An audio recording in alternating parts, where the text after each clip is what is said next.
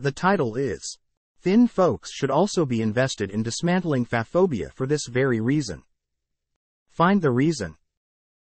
Someone recently commented asking if I could wake up tomorrow and be 150 pounds lighter healthily, would I? And my answer to that is no. Bullshit. And that's because fat phobia as a system of oppression controls all people of all sizes. Because thinness under fat phobia doesn't really have a physical look. Meaning that no matter how thin you get, you're never really going to like satisfy the beast that is fat phobia. That's why you'll see even the thinnest people get called fat as an insult, even though it's like the farthest thing from the truth. Because while only some of us may be fat, a fear of fatness is forever. The fear of fatness is what unites us, and it's what controls us. And it's what I'm trying to break us all free from. Because being fat is not something to be afraid of. And that fear of fatness will only exist as long as systemic fat phobia exists.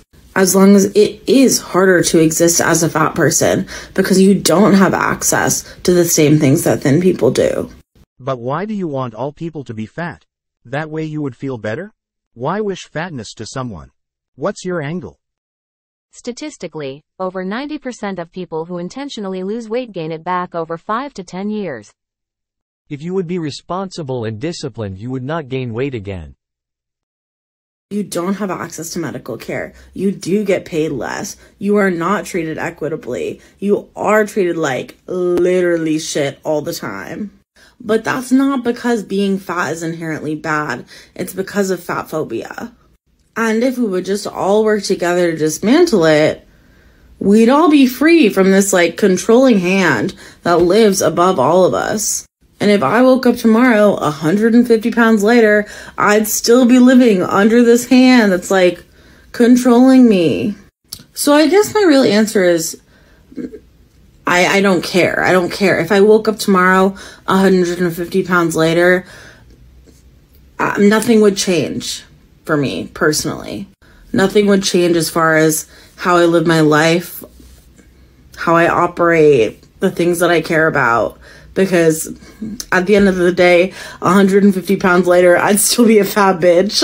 Lol, I'm so sorry you don't have the ability to use Google. Fat people do everything thin people can. Lizzo? Hell, we have fat Olympic medalists. If fatness isn't bad, how is it good? What is your take on the opinion that the fatter you are, the worse your mobility is? That's just not true across the board. Thin people can have arthritis, fat people can be dancers, runners, athletes. What do you think allows one to identify as fat? I recommend reading your Fat Friends Medium article Who's Fat Enough to Be Fat? You mean you don't know? And yeah. you think that you're not eating and you're getting I don't want to get malnourished either. Do you look like you're malnourished? We need to invest the Savage Awards.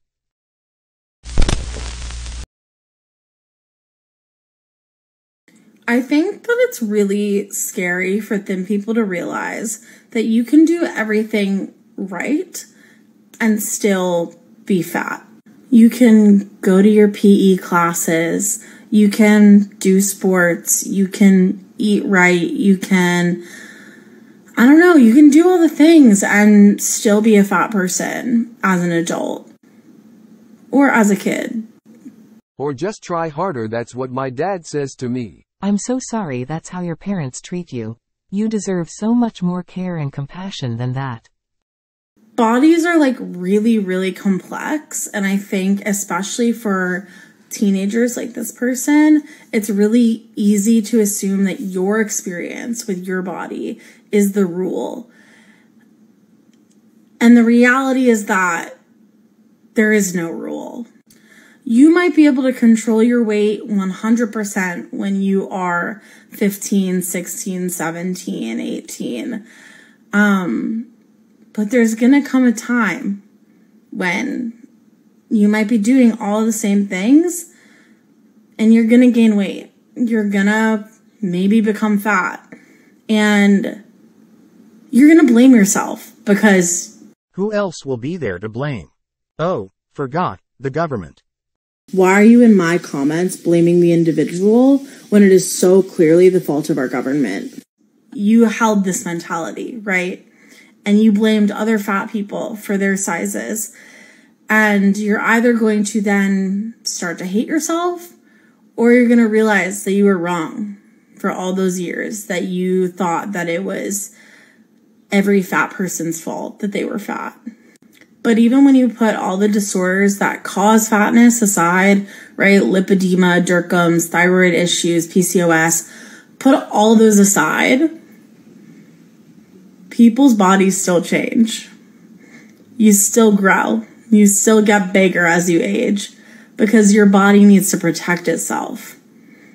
Protect itself from what? You get bigger because your body protects itself?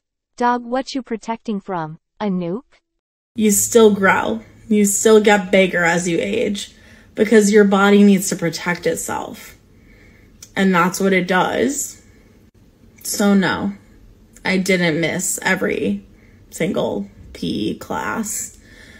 Uh, I've just always been fat. So, that's it. So if a fat guy starved, he's going to stay fat? You do not just create matter. Expend more calories than you intake. That's it. Stop making excuses.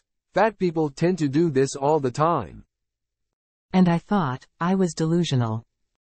Bud will throw out every excuse to not go to the gym. Where are the fat famine survivors?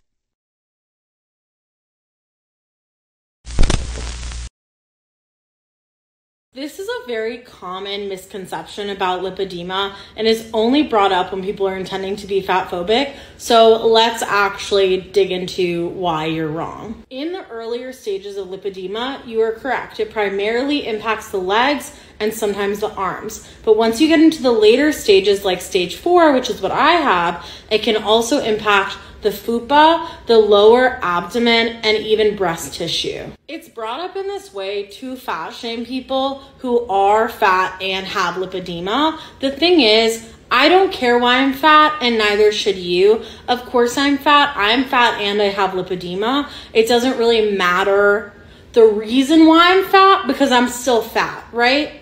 What are the differences in early stages between normal fatness and this?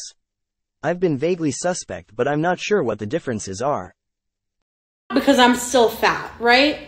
The lipedema and lymphedema labels do not exist to excuse my fatness. They exist so that I can get the medical care I need. My lipolymphedema may be a cause of some of my fatness. Obviously, it is, but my fatness does not need an excuse. Nobody's fatness needs to be excused by a medical condition. It should not matter why a person is fat because fat people, regardless of why they are fat, deserve rights, healthcare, safety, access, all these things. And if you think that me being fat is okay because I have lipedema, you're part of the problem because it was always okay that I was fat. What's not okay is your ongoing abuse of fat people. Hope that helps. How do you know you got it and you're not just fat like me? It sucks that treatment isn't covered. I'm in Canada, maybe it is where you live. Because of fat phobia, I'm at stage 2 for now.